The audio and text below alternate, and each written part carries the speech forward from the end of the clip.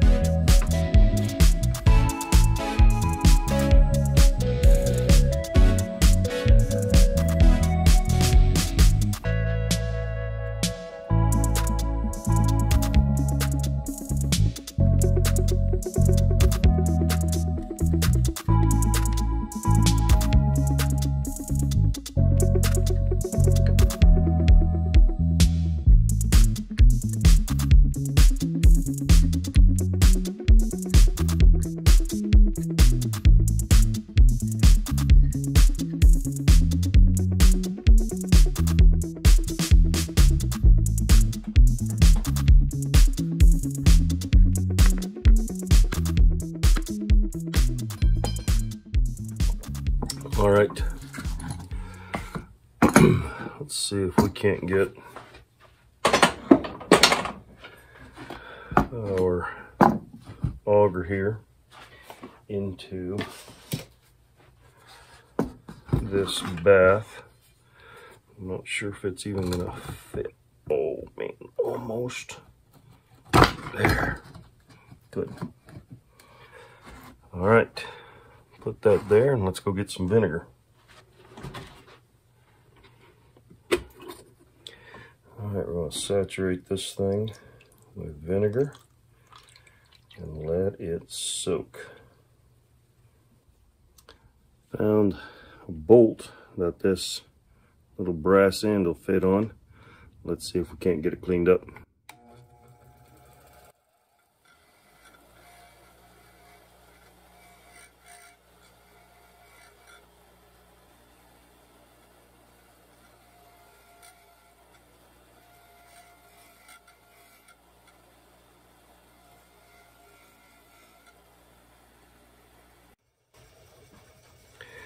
This handle is a grand mess. But it will be fun to turn on the lathe and get us a new one. You may remember the one inch auger that I redid. This handle I didn't need to return.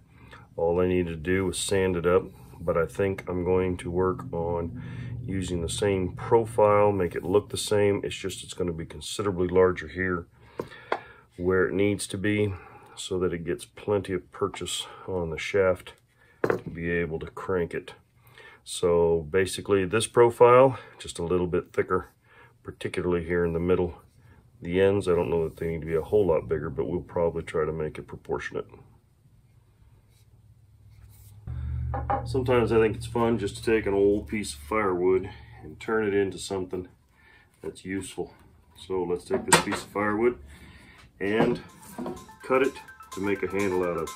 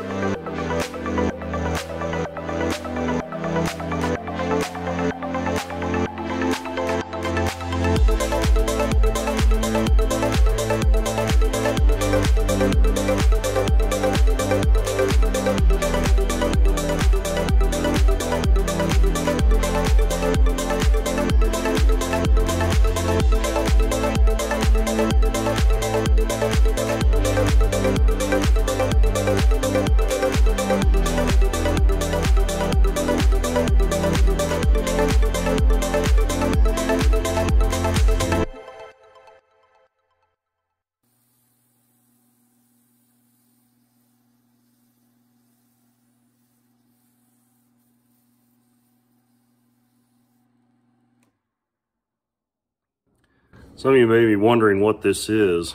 This is an orbital sander. It spins, plus the rotation of the wood on the lathe help to give multiple directions of sanding. So it helps to smooth it out. And you can see the lines here from the aggressive sanding belt that I used, which was this one.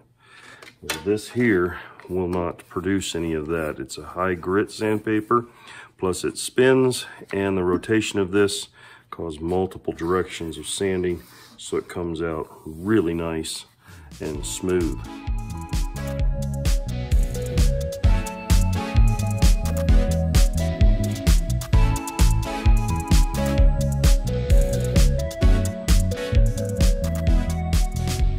I recognize that not everybody is going to have this tool to use, but I really want this thing to come out tight.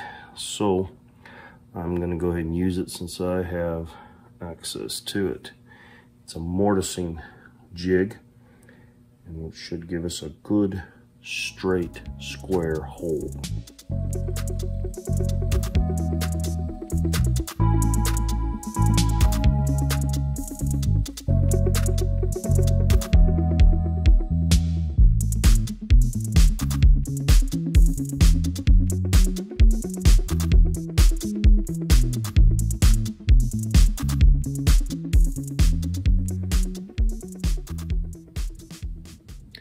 So these threads were really rusty and even some of them were completely gone. So I've ground down and tapered it, but I'm getting, trying to keep the same threads that will work with that brass nut.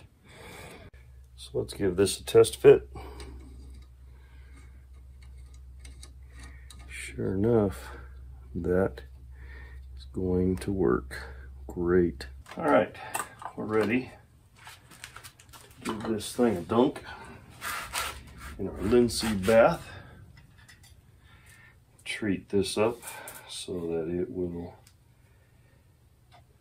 work well for us.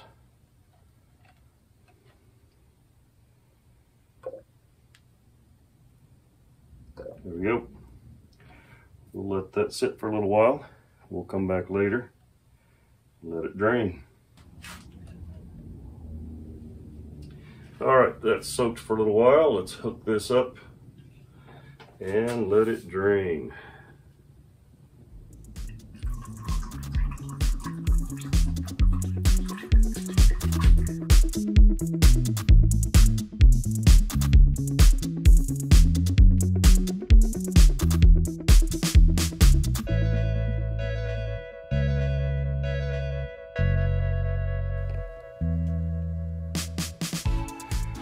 All right, what I want to look at here is that that's straight and then the space down at the bottom there. I think I want to take off just a little bit on the right hand side and straighten that a little.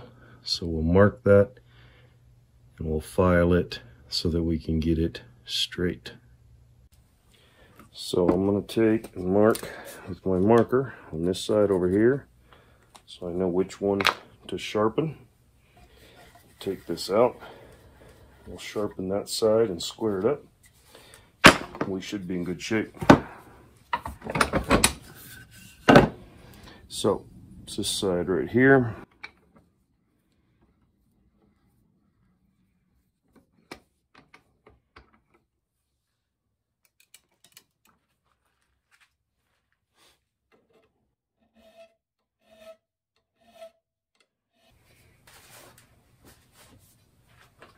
All right.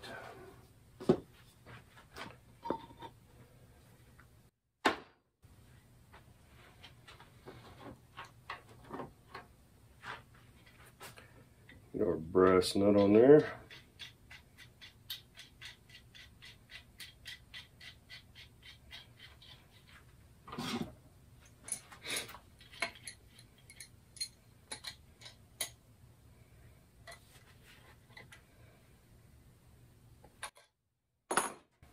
And there we go. We've got a good, usable, functional auger.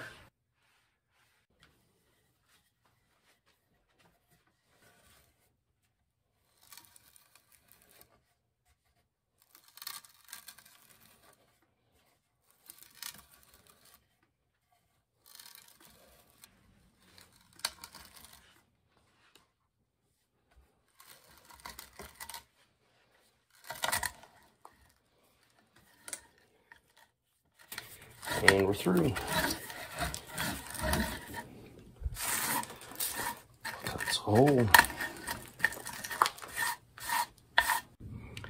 So here we go with the finished product. If you'll remember, it went from this to this right here.